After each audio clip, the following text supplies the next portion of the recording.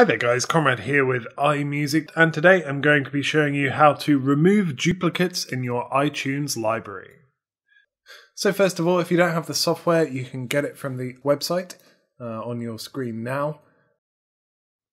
So one thing we can do here is uh, click on the toolbox here and then just click clean up iTunes library. As you see, there's uh, a variety of things we can do. But uh, today we're just going to be cleaning up our library here. So, oh dear, what a mess.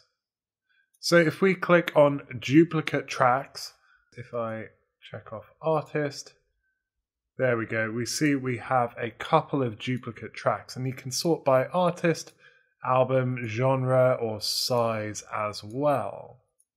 So uh, just by sorting by name, I found that I've got some um, problems here.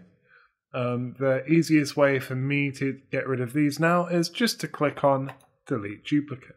Do check they're the same time and size as well. Normally a good indicator they're the same song. And then we can just click delete.